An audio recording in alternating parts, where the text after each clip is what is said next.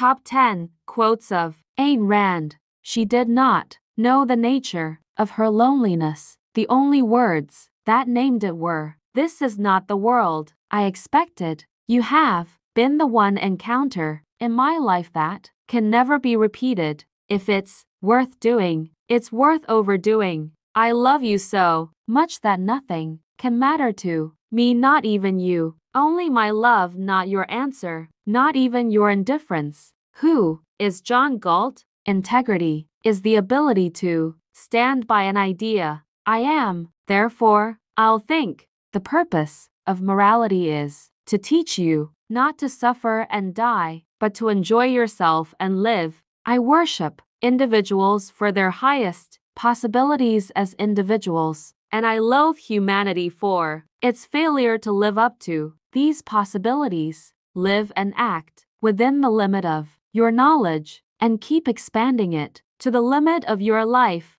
Thanks for watching.